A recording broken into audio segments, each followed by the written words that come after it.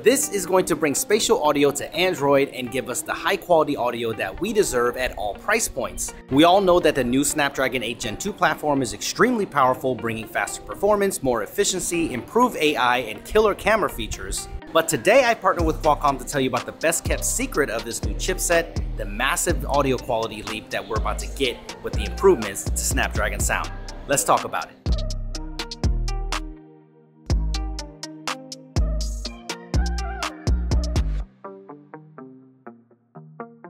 Okay, so I already know what you're thinking. We've already seen spatial audio before, but this one is different because this is a unified platform with the end-to-end -end solution that could be applied across all Android devices and more. So spatial audio can make it into more people's ears and there's also so much more to Snapdragon sound that makes it so robust, like lossless audio over Bluetooth low energy. And some of the lowest latency that we've ever seen is perfect for gaming and improved ANC with adaptive transparency mode. Qualcomm provides this technology as a base for any OEM to use, so they can use this as a solid foundation to release quality audio products at many different price points.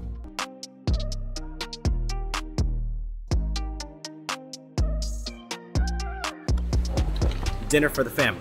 But first, let's talk about why Qualcomm is delivering spatial audio to the masses. They surveyed 6,000 smartphone users on the State of Sound report that looked at what influences audio device purchases, and 58% of respondents stated they are seeking either high resolution or lossless audio quality, and more than half of respondents claimed that spatial audio will have an influence on their decision to buy their next pair of true wireless earbuds, and 41% said that they would be willing to spend more for that feature. I got to try out that spatial audio here in Maui at Snapdragon Summit, and it worked just like I thought it would. There was a voice talking to me, giving me instructions. When I turned my head, the voice shifted, which was incredible. And then when I shifted back, the voice was precise and sharp, just like in real life. So if you haven't tried spatial audio yet, I'm sure you'll get to soon with Snapdragon Sound. Snapdragon Sound can also process in Dolby Atmos, which is great, but I can't wait to try gaming with spatial audio with true wireless earbuds. Okay, normally that wouldn't be a move for gamers, but with almost 50% improvement in latency over the last generation at 48 milliseconds with voice back channel for in-game chat, this could really win some gamers over. The next thing that I got to try was the multi-connection capabilities and it was seamless. There were two phones here being powered by the Snapdragon 8 Gen 2 and there were three reference headphones and they all were able to connect with ease, but the best part is different music was playing on each phone, but with just a simple double tap gesture, I was able to switch instantly to the other phone. I had too much fun playing with this feature.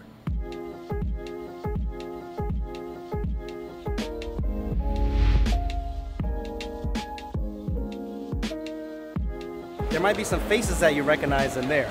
Let's go take a look.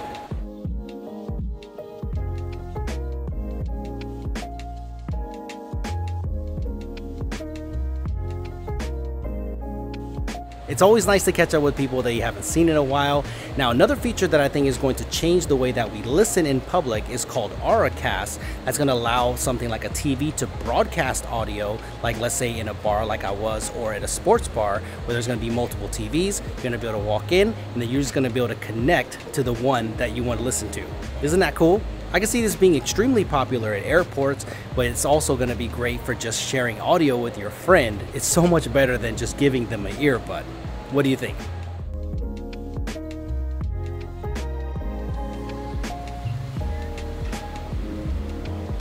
Just like last year I had to try out lossless audio, I can't believe that this type of audio quality is coming over Bluetooth. It's really clean and crisp. What is new this year is that lossless audio can now happen over Bluetooth low energy, which is incredible. This means even if you're in a high congested area with a lot of Wi-Fi and Bluetooth traffic, like let's say if you're on a subway, you can still enjoy that high resolution audio. What's great is you don't even have to think about it. Snapdragon Sound dynamically adjusts for the best quality. Just look at that streaming bit rate that's adjusting on the fly. Yes, your eyes are not deceiving you. That is the bit rate. That's insane, isn't it? Next is active noise canceling. It's a must for me on any true wireless earbud. I have to have it. And of course, Qualcomm has improved it. They're on their third generation of adaptive ANC. The adaptive transparency mode is a big one to enjoy ANC but allow natural sound leaks when you need them. The automatic voice detection is a big one for me. Have you ever taken a phone call with active noise canceling on? Yeah, sounds pretty terrible, right? So adaptive ANC knows when you're talking and it automatically adjusts, so I think that's very smart. I can already see some of you thinking, this sounds great and all, but when are we actually going to see it? Because lossless adoption was a little bit slow last year, so how's it going to be any different this year? So buckle up for this one. This is huge. Bose just announced that they're going to push out an over-the-air software update to enable Snapdragon sound on the Quiet Comfort 2 earbuds. Those are already amazing, so I can't wait to see how this takes those to the next level. And on top of that, Bose also announced that there's a partnership with Qualcomm that they're going to push forward with Snapdragon sound in all of their audio products moving forward. So this is a huge deal for adoption. I cannot wait for high quality audio to be pushed out to the masses. This is going to be huge.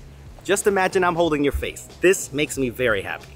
Okay, another thing that I think will help tremendously in adoption is the two different platforms. The Qualcomm S5 Gen 2 platform will be for the high-end manufacturer that needs to have full control and tune their product to their specific sound. But the Qualcomm S3 Gen 2 platform will be more of a plug-and-play solution for OEMs to use to deliver high-quality audio products quickly to the masses at affordable prices. And that's with lossless audio, so we should see lossless audio come to more markets soon at more affordable prices, which no one is complaining about.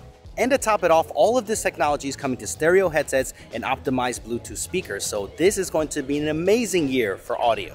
Just had to get breakfast, some fuel up so I can get ready for the rest of the announcements that are happening here. So much more going on. I know it's just a small piece of the puzzle, but this is the thing that I'm most excited about. So let me know what you think. Are you excited about the improvements in Snapdragon Sound? Let me know in the comment section below. I'll see you guys in the next one.